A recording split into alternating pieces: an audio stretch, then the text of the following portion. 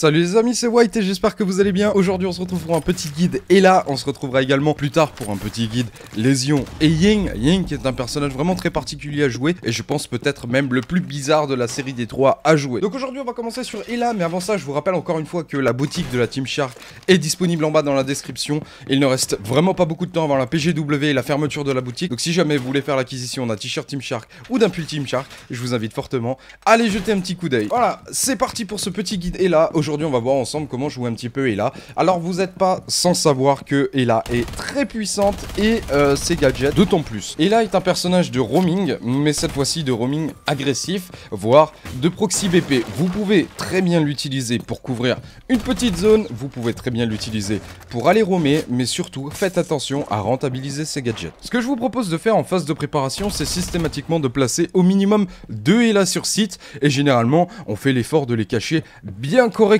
Ici, vous avez pu le voir, on est sur chalet, tout simplement, sur le BP cuisine. L'un de mes plus beaux rounds que j'ai jamais fait avec Ella, et je vous le présente tout de suite. Donc, je place des Ella vraiment très classiques à l'entrée de trophée et dans le buisson, et généralement, je fais l'effort de m'en garder à peu près peut-être un sur moi, ou peut-être deux maximum. Et puis, euh, à charge à vous de voir si vous avez vraiment besoin des impact grenades ou des barbelés. Vous faites vos renforts, généralement, c'est vous qui allez faire la préparation la plus loin du BP, puisque de toute façon, vous partez en roaming. Donc ici, dans cet exemple-là, j'ai renforcé les deux trappes au top, ce qui m'a permis effectivement de me retrouver proche de ma zone de jeu tout de suite. Et vous allez le voir, je joue très très agressif avec Ella. Son arme a une très forte cadence de tir, donc ça me dérange même pas de challenge un Blackbird. Et elle possède 51 balles dans le chargeur. Petit Scorpio Evo qui fait très mal, peut-être trop mal, qui sera sûrement sujette à nerf sur le patch demi-saison. Pour parler un petit peu de mon gameplay avec Ella, je me permets de roamer énormément avec elle et je me permets de prendre des pics très agressifs puisque Ella me permettra de décaler deux ou trois ennemis. Assister de perso sur site, si vous avez de bons amis sur les caméras, vous pouvez faire un massacre et vous permettre de jouer totalement en extérieur. Ella est un personnage à 3 de vitesse pour 1 d'armure, donc n'hésitez surtout pas à bouger lorsque vous prenez un kill. Comme je l'ai déjà répété dans un des précédents guides ou alors dans la peau d'un requin, je ne sais plus exactement, lorsque vous êtes droné, vous bougez. Lorsque quelqu'un prend une information sur vous, vous bougez. Lorsque vous avez tiré, même si ce n'est qu'un misclick, vous avez donné une information sonore, vous bougez. Lorsque vous tuez quelqu'un, vous bougez, restez mobile, ne soyez pas prévisible et vous pourrez faire un vrai carnage avec Ella. Pour faire une aparté rapide sur le boulot du roamer, je vous rappelle que le but principal d'un roamer n'est pas de faire la full team mais de faire perdre un maximum de temps à l'adversaire et ce, même si vous n'arrivez pas à prendre de kills. Si vous arrivez à faire perdre 1 minute 30, 2 minutes, 2 minutes 30 à l'ennemi, vous avez parfaitement fait votre boulot, vous avez parfaitement rempli les clauses du contrat roaming et vous avez parfaitement fait votre travail. Après, tout ce que vous arrivez à prendre en kill, c'est vraiment du bonus donc faites-vous plaisir à partir du moment où vous arrivez à péter 1, 2, 3, bonhomme, 4, 5. Si vous faites le ace, vous êtes vraiment quand même chaud. Hein. Donc voilà, pensez à rentabiliser votre personnage, bougez beaucoup, sécurisez-vous une zone, et puis allez roamer. Il y a deux manières de roamer le roaming fixe et le roaming agressif. Le roaming agressif, c'est ce que je propose très très souvent sur ma chaîne YouTube. C'est un roaming en mouvement, c'est un roaming vraiment violent où je vais chercher les ennemis en extérieur, où je prends des pics agressifs, où je me déplace tout le temps. Il y a effectivement une autre manière de roamer, c'est le roaming fixe, que ce soit en proxy BP ou tout simplement en roaming.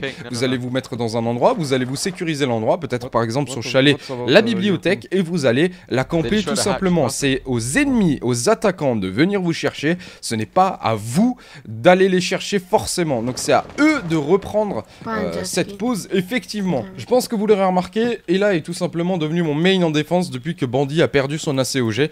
Je trouve que c'est un petit peu le même gameplay, donc du coup c'est très facile de se repérer avec Ella quand on a l'habitude de roamer.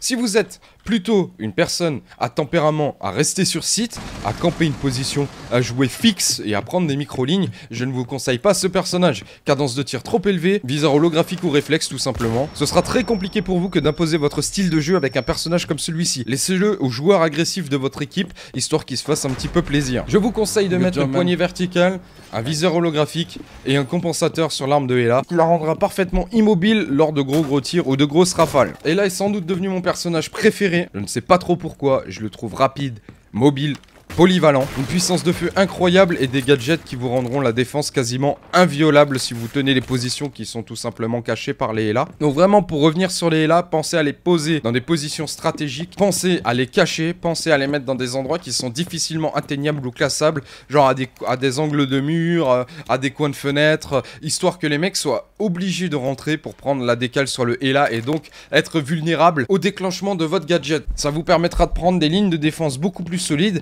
et ça permettra à Hela de renforcer la défense sur site que vous pouvez tout simplement vous permettre d'alléger. Depuis l'implémentation de Hela sur Rainbow Six, je ne sais pas si vous avez remarqué mais il y a de moins en moins de personnages de défense sur BP. Maintenant, Garder deux personnes sur site peut suffire si ce sont des personnes très solides. Par exemple, nous, on a le clutcher fou dans l'équipe. On a Juice. On le laisse sur BP et on sait que même en 1v3, il est capable de se débrouiller.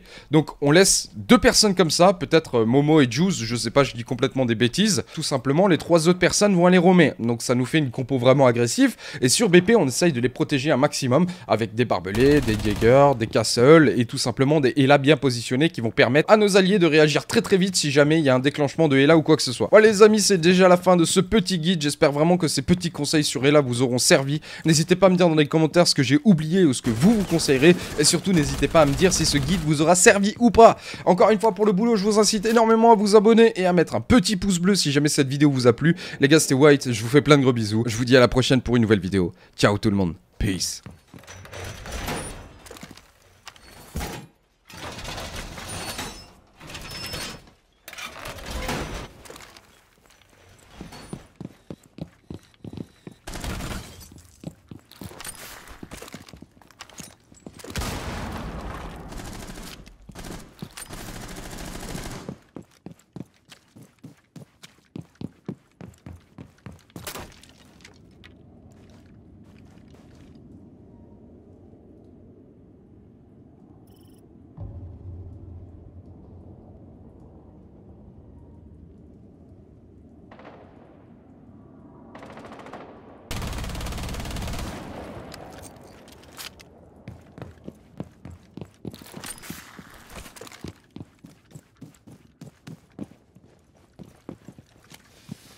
Your wish